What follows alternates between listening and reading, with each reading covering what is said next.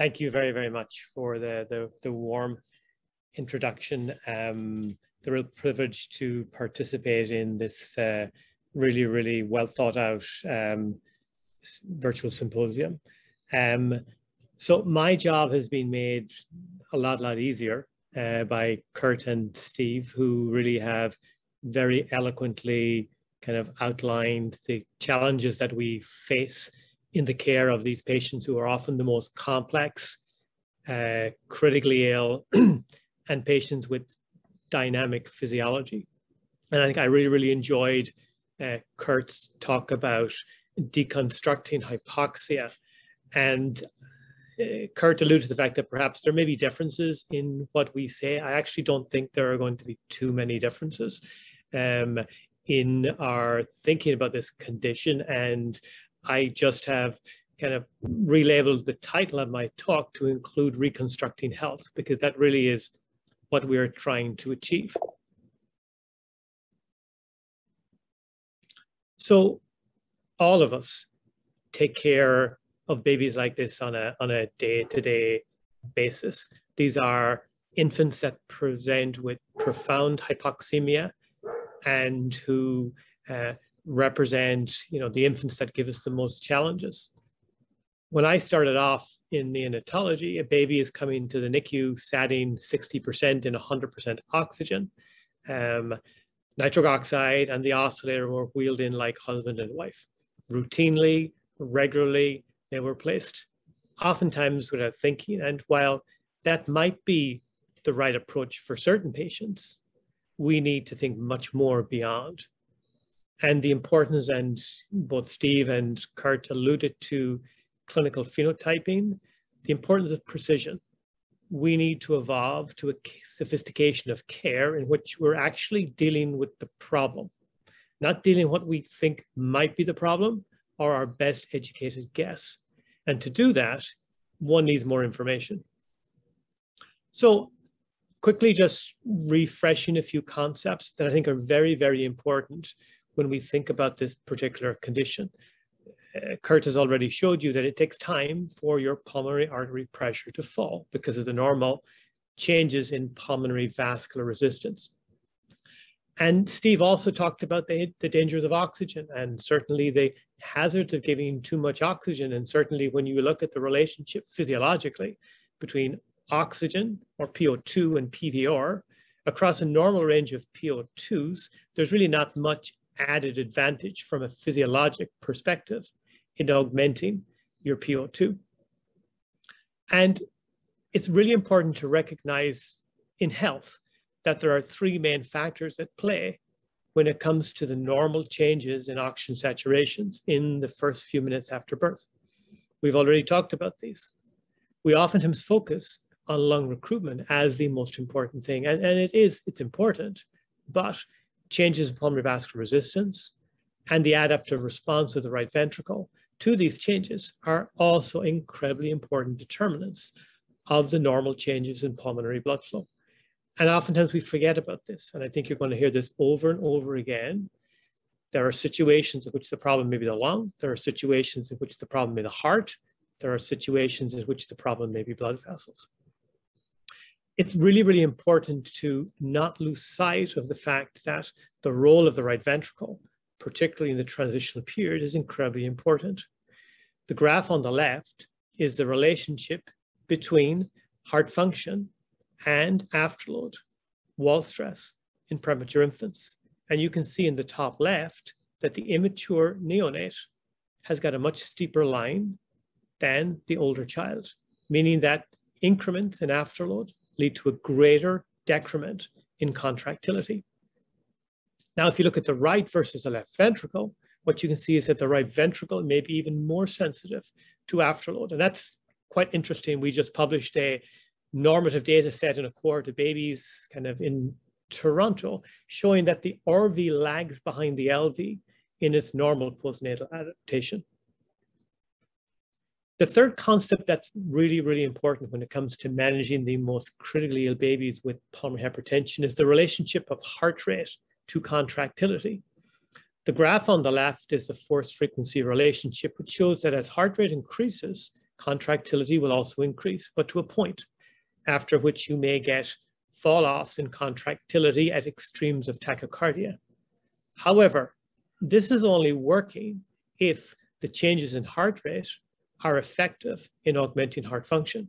And if you have an infant with a profoundly dysfunctional right ventricle, which we oftentimes see, particularly in cases in which the ductus is restrictive, you have a blunted force frequency relationship in which tachycardia causes tachycardia and not a lot else. And what you end up then further compromising is diastolic perfusion, as coronary arteries are only perfused during diastole. The faster the heart rate, the lower the filling time. So you may end up making a bad situation even worse. The other important concept, and I think it's very, very relevant with respect to the care of infants with pulmonary hypertension, is the relationship between blood pressure and this illness we have elevated blood pressure to a, an almost godly status in terms of it is the metric that we adjudicate health versus disease. But if you look at these two pictures of babies we took care of over the last couple of years, both look very sick, but none of them have low blood pressure. And therefore, it's really, really important to not lose sight of the fact that blood pressure does not predict cardiac output. And in pulmonary hypertension, that relationship may even be more tenuous, in particular if there's an infant with a wide open duct with a right to left shunt. Given the fact that we oftentimes monitor blood pressure through an umbilical arterial line, and the blood pressure we're measuring may not necessarily be reflective of the perfusing pressure of the brain in the presence of a very large right to left shunt. Kurt has already showed this to you. I'm not going to go into it in any detail, but again, this relationship between oxygen delivery and oxygen consumption in optimizing cellular metabolism is the hallmark of what we need to do in these patients. And if we change the focus from blood pressure to determinants of oxygen delivery, there's a complexity and a need for physiologic individualization of care that's incredibly important. So Kurt has already talked about PPHN or acute pulmonary hypertension. We like to talk about acute and chronic pulmonary hypertension, but in essence, we're talking about the same condition. Kurt spoke about that this is a shades of blue, shades of gray, shades of green, whatever you like to call it. Uh, but it's a condition that oftentimes our thinking physiologically moves away from what the problem is and starts to think about the consequences of the problem. There are some challenges that we face on a day-to-day basis. The first one is we lose sight of the fact that this is a disease of right ventricular afterload. We oftentimes spend more attention thinking about what is the blood pressure, what is the number of the blood pressure that I want to achieve. And by doing that, you then start forgetting or not considering with the degree of precision what's going on at the level of the pulmonary vascular bed. The other important things to consider in this condition is that there are certain things that may lead you down a garden path. Not all babies with a pre-postductal oxygen saturation difference have pulmonary hypertension. Some may have congenital heart disease. And not all babies who don't have a pre-postductal oxygen saturation difference you can exclude pulmonary hypertension. In our experience, the sickest babies are those in whom the ductus is closed, the RV is failing, and they present with profound hypoxemia without a pre-postductal saturation difference. And as mentioned previously, the challenges of using blood pressure, and in particularly relying on postductal blood pressure and not thinking about preductal blood pressure, which really is much more reflective of the adequacy of pulmonary blood flow. So how do we think about pulmonary hypertension? Well, very simply, we think about this very much from a resistance perspective as a brick wall in the lungs, either due to lung disease or due to non-pulmonary reasons, there may be elevation in pulmonary vascular resistance. And again, bearing in mind, I'm focusing for now on those conditions that cause elevated PVR. The problem, our thinking tends to focus on um, creating a roadblock in the lung. or in the, in the systemic circulation as a means to try to reroute blood into the lung, which, if it is effective, may have some benefit, but in our experience, causes more harm than good. The other final concept, and I think Phil will probably go into this in a lot more detail that's important, is not losing sight of the fact that in these profoundly ill babies with the most elevated pressure, what happens to the right ventricle and this maladaptive response to elevated pulmonary vascular resistance, particularly when the ductus is closed, will lead to a dilated, decompensated right ventricle. And this is what we call heterometric maladaptation. The other final physiologic concept, just to mention briefly, is also in many of these conditions, the right and the left ventricle are incredibly interdependent. The fibers of the RV and the LV are shared, and an insult to the right ventricle may oftentimes cause a secondary insult to the left ventricle. And this is also important when it comes to selecting cardiovascular drugs. So I want to start off with a case. I'm going to use a series of cases to illustrate a series of points with respect to the care of this very complex condition. This is an infant who was born at full term in an institution in another province in Canada, who was born by emergency section for fetal distress. The infant initially had some respiratory distress, but was well and did not have hypoxemia. He was known antenatally to have a concern about a cerebral AV malformation. And this was confirmed on postnatal MRI, as you can see in the image on the right-hand side. At the referral hospital, initially, as mentioned, the baby had a normal lactate, a normal urinary output, and was in room air. An echocardiogram was performed by the local pediatric cardiology service, which demonstrated suprasystemic pulmonary hypertension with a dilated dysfunctional right ventricle. The baby was then started on some dobutamine, which again would be our first line therapy, like Kurt's for some RV dysfunction, particularly in the mild to moderate range. And they also started nitric oxide based on this finding of suprasystemic pulmonary hypertension. Over the next four to six hours, the baby became uh, sicker. There was increasing respiratory distress. There was oliguria.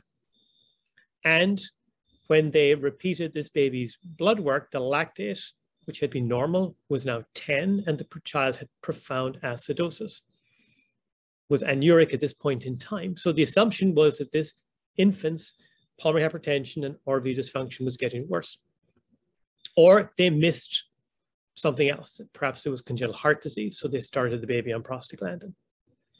So this infant arrived at our center on nitric of 20, dobutamine of 10, and prostin of 0.03 with profound oliguria and lactic acidosis.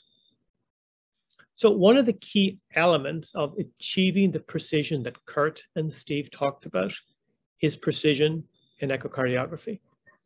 And within our center, we have a comprehensive hemodynamics program in which we have five neonatologists who are trained in uh, advanced echocardiography. And they use this to define physiology, not at a single time point, but at multiple time points, evaluate the response to therapy.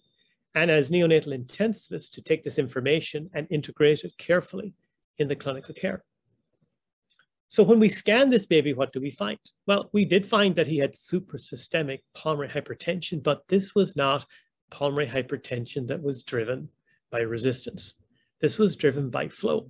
You can see here a very dilated, dysfunctional right ventricle, and the objective measures confirmed that there was at least moderate RV dysfunction. But when you look at his, uh, his other kind of images, you can see the significant retrograde flow in the postductal arch and this very dilated torrential SVC. So what did we do? We recommended to the team to stop the nitric oxide, to switch him from dobutamine to low-dose epinephrine. And within several hours, this infant improved the lactate normalized, his urinary output also normalized. So this gets back to something that was asked to Kurt. Uh, what about flow? There are some conditions that by their pathological nature do lead to an increase in flow. This infant did not need nitric oxide. this infant needed his AV malformation to be managed.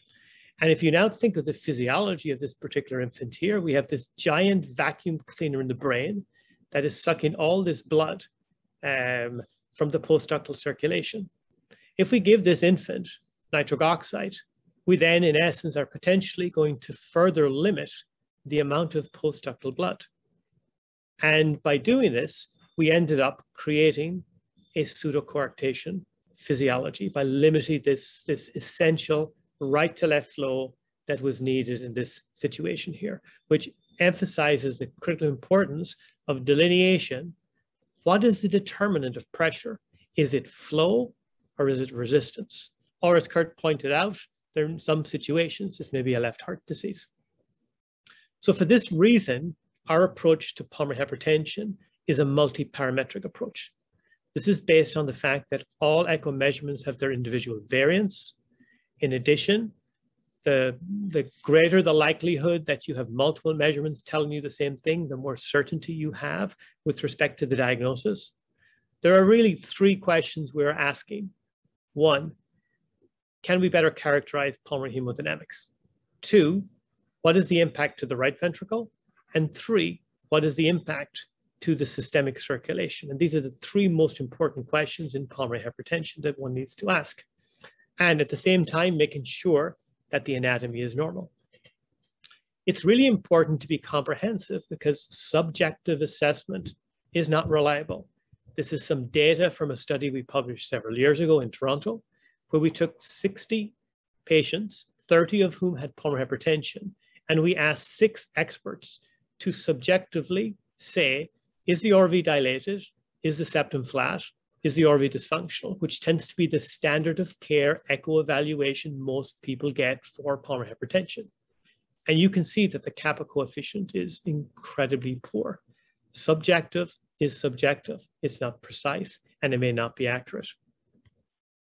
Just to further emphasize the point, even with objective measures, these vignettes here that you can see in front of you, this is the same baby with a series of images taken two to three minutes apart. Depending on the image, I can make that right ventricle look bigger or smaller. I can make that septum look flat or not. And it really comes down to the importance of standardization of assessment and image quality and training is everything. But in addition to this, there are several caveats that one needs to think about when you're thinking about pulmonary hypertension and echo. Tricuspid regurgitation is a great way, according to the Bernoulli equation, to quantify right ventricular systolic pressure. However, if the RV is dysfunctional, it may not be reliable. It may actually underestimate the severity of pulmonary hypertension. What about flow across the ductus? Again, very helpful, very useful. Kurt spoke to this. An unrestricted right to left shunt potentially tells you that your RV pressures are suprasystemic. But is it always pulmonary hypertension? Here you can see an image showing very, very nicely this blue flow, which reflects an unrestricted right to left shunt. Case number one is a sick premature infant in 100% oxygen with very low flow. This infant indeed had resistance-driven pulmonary hypertension and responded incredibly well to vasodilation and inotropy. But here's a second case of the baby with a wide open right to left shunt who actually does not have RV dysfunction, does not have compromised pulmonary blood flow, actually has got normal cardiac output. And the reason that this baby had a right to left ductal shunt was that his systemic blood pressure was incredibly low. This infant does not have pulmonary artery hypertension. This infant has a bidirectional shunt in the setting of sepsis. And this is something very, very important to, to, to really think carefully about. The flow across the ductus is determined by the transductal pressure difference, which may reflect either a high pulmonary pressure or a really, really low systemic pressure. Briefly and finally, septal wall motion. A useful parameter, objectively, we measure the end systolic eccentricity index. However, in some patients, you may underestimate pulmonary pressure if the patient has systemic hypertension, because you will end up with a retained high pressure in the left ventricle. There are better measurements, Phil will probably talk about these, that one can use to objectively quantify RV systolic performance, TAPSE, fractional area change, strain analysis. We're starting to learn that these measurements may actually be very helpful. This is a work from Regan Giesinger showing that in the setting of perinatal hypoxia ischemia, that the presence of impaired RV function is an independent predictor of poor uh, neurological outcome, not just in terms of the acute phase in the NICU, but also abnormal neurodevelopment outcome at two years of age. So what about treatment? Well, I think, again, the most important aspect of treatment is to focus on what is the problem, which is a problem of pulmonary artery pressure. There are drugs that uh, Satyan will talk about, which work on the pulmonary vascular bed. There are drugs you can give to support the right ventricle, and one can look at modulating flow across the ductus, but paying attention to the fact that selecting therapies that will improve systemic blood pressure, but not at the expense of harming the pulmonary vascular bed. Now, I want to talk about two caveats, and this has come up earlier, and I'll just share some thoughts on this. Nitric oxide and preterm babies. This is some work from uh, Satyan's group when he was in Buffalo, which showed that if you give nitric oxide on the basis of oxygenation problems, the likelihood of identifying a positive response in extremely preterm babies appears to be less. Let me briefly share a case with you. Preterm baby, born in a community hospital, uh, was in poor condition, uh, had no lung disease initially, but presented with hypotension and lactic acidosis. The very first echocardiogram that we performed and again, the details don't necessarily matter, but the infant had moderate LV systolic dysfunction with a low cardiac output state. So we decided at that point in time to transition him from dobutamine to epinephrine. Within the next three hours, his blood pressure recovered, but this infant, because of his very poor perinatal start, developed multiple seizures, ended up being in 100% oxygen. So Steve talked about dynamic you know, you can't rely on the information three days ago. So we went back three hours later. And the physiology was entirely different. The LV had recovered, but as you can see from the TAPSE, the FAC, there was profound RV dysfunction. The flow across the ductus was unrestricted right to left. So this infant now has a second phenotype, severe pulmonary hypertension with RV systolic dysfunction. So we started him on nitric oxide, and I typically start at five, um, and there's a very specific reason for that. In our experience, the physiology in some babies can change very quickly and very radically. And in particular, we always advise people to focus very carefully on the postductal blood pressure, particularly if their FiO2 improves, and if that happens, to wean the nitric oxide. There's not a lot of data. The study that Steve talks about does not exist. A randomized trial based on echo confirmed pulmonary hypertension. But there is some data, this is our Toronto experience, showing that if you have echo confirmed pulmonary hypertension, babies, particularly in the transitional period, independent of gestational age, if they have confirmed pulmonary hypertension on echo, may respond. But as mentioned, some of them respond very quickly and very dynamically, that the, the pulmonary vascular bed can be highly vasoresponsive. And that's exactly what happened to this baby here. He weaned to room air within 20, 30 minutes. And the team then started to notice him develop postductal hypotension. And then they weaned the nitric oxide. And this is his scan three hours after the receipt of nitric oxide. The physiology had changed to a third physiology. We were now no longer dealing with pulmonary hypertension, but a large torrential left to right ductal shunt, for which we then managed it accordingly. So this gets to the importance of phenotypic profiling. If you are to provide the best care and modulate outcomes, you need to understand what is the disease. Let's move from the preterm babies to term babies. And for the last part, I want to focus on critically ill term babies with pulmonary hypertension. We see many babies like this. Patients refer to us with uh, for ECMO, profoundly ill babies who typically have a course like this. They start off with profound hypoxemia and then they become hypotensive. This infant was started on some, some dopamine, had very little response in terms of his blood pressure. The dopamine was increased to 15. He then was treated with some norepi, followed by epinephrine, and the blood pressure was fixed. He had a very good blood pressure. But despite this, he was profoundly tachycardic and remained profoundly hypoxemic.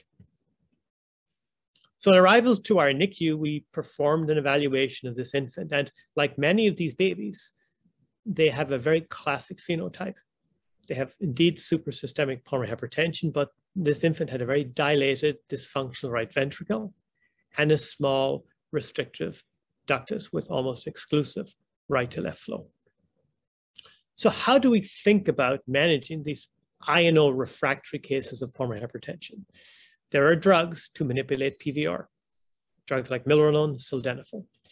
There are drugs to support the right ventricle, positive inotropes like dobutamine, uh, drugs like milrinone to offload the right ventricle, and prostaglandin. And then finally, there are drugs to manipulate flow across the ductus, and Kurt has alluded to these, norepinephrine and vasopressin.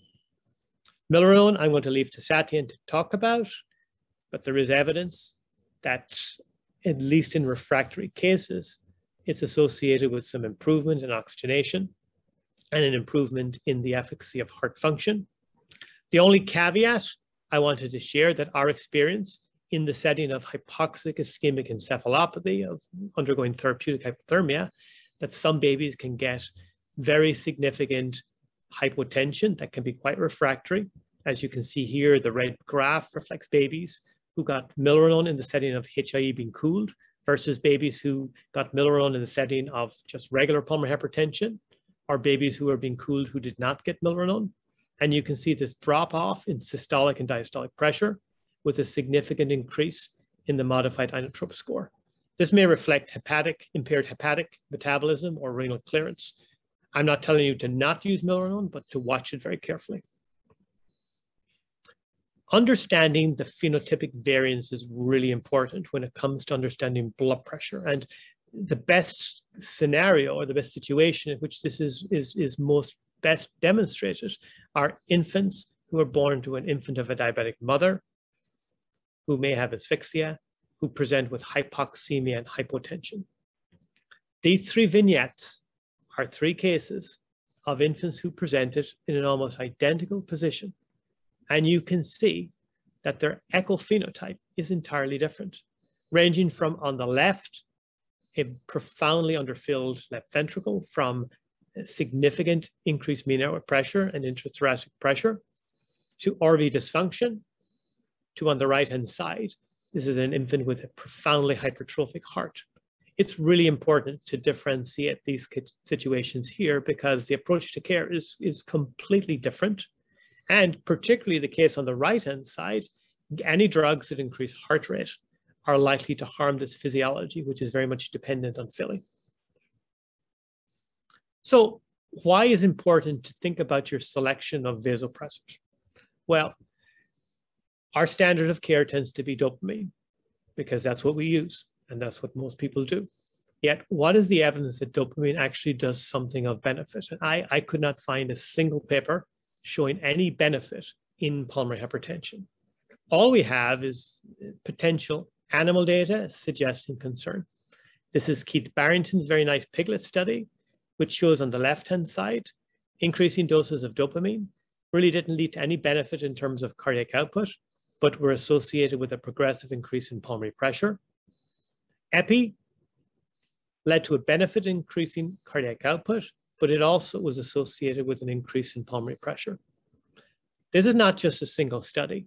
This is some work recently in the piglet model from Manouchehri, who basically showed that whether you use high dose dopamine or lower dose dopamine with epinephrine, the increase you get in systemic blood pressure is less the increase in pulmonary pressure.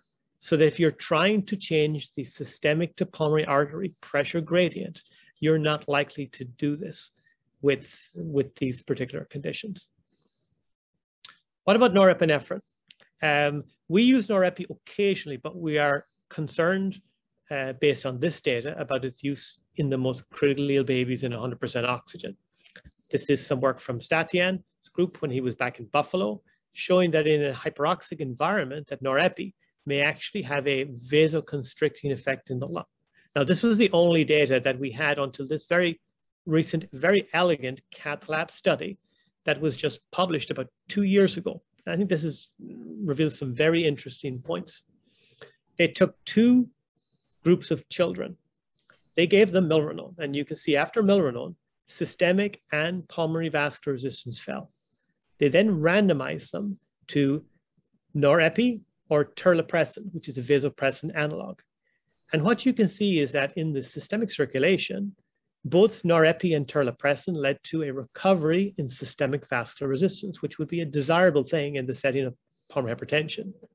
But if you look at the effect on PVR, you can see that with norepi, the PVR went back up, whereas only in the vasopressin analog did it stay low. So it's for this reason that we like to think about vasopressin in these patients. Why vaso? Well, it's a drug with a dichotomous type of properties. In most of the systemic vascular bed, the V1 receptors act through calcium channels to cause vasoconstriction. But in the pulmonary, coronary, and cerebral, it actually works through eNOS channels to cause vasodilation. I don't have a randomized control trial to show you, but there are observational data that show in critically ill babies, both term and preterm babies, that it leads to an increase in blood pressure. And this is associated with a reduction in oxygenation index. Dr. Patrick, sorry interrupt. Can you wind up in five minutes or so? Yeah, we're wrapping up now. So, so how how did this baby do? So, what you can see here is that we switched the baby from dopamine to to and norepi to vasopressin. Uh, you can see that uh, following that, his blood pressure remained stable, but his heart rate came down very nicely. Once we had a stable blood pressure and a stable heart rate, we then added in some milrinone and we avoided ECMO in this situation. This baby did incredibly well. So you've seen this in two previous presentations and you're hearing it again. It's about phenotypic profiling. Pressure is the product of flow times resistance. In providing the best care, it's important to differentiate these particular situations and provide a therapy specific to the underlying problem. So pulmonary hypertension is a physiologic spectrum.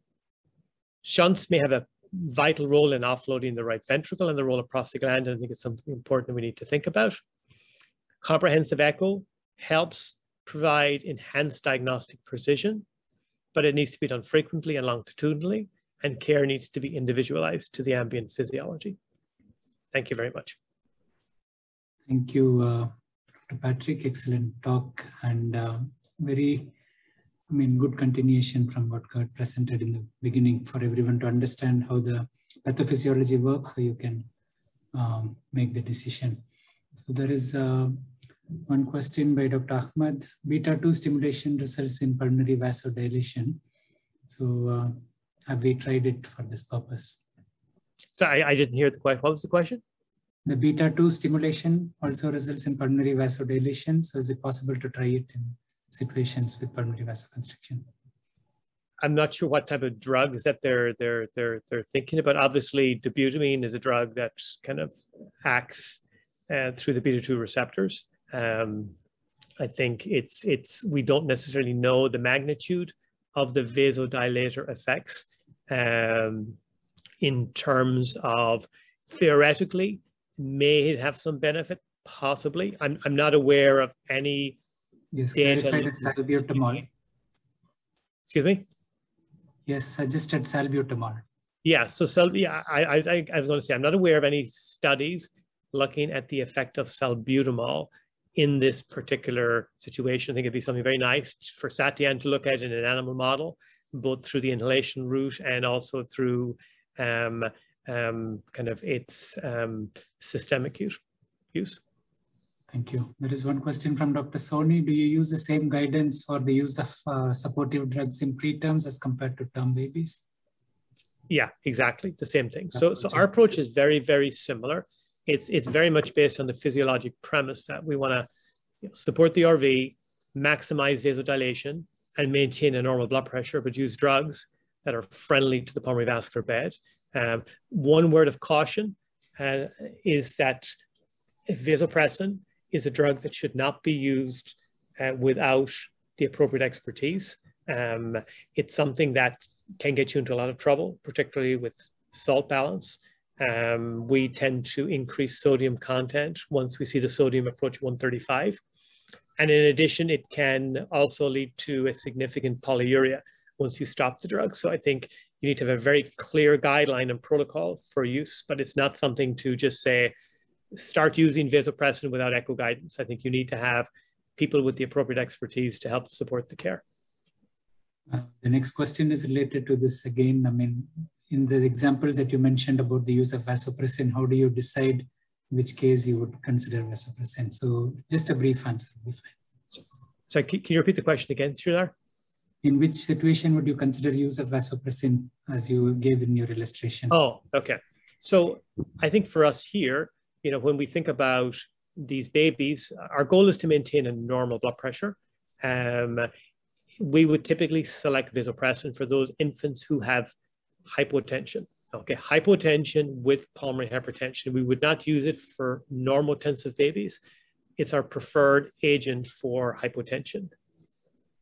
Okay, thank you so much. I think uh, due to shortage of time, we'll have to stop the session here, but I hope you'll be there for the panel discussion when you would be con continuing to contribute. Thank you for the excellent. Thanks, Sridhar. Well moderated. Thank you so much.